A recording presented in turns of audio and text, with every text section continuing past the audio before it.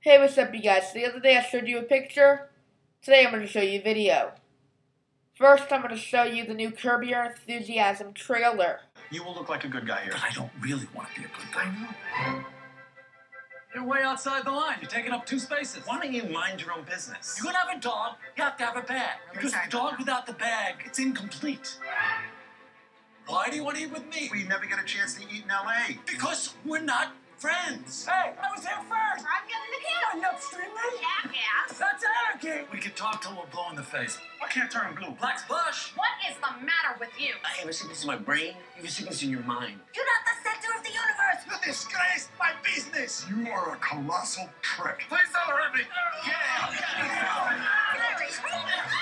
You know what you are? You're a social assassin. I guess I am in a way.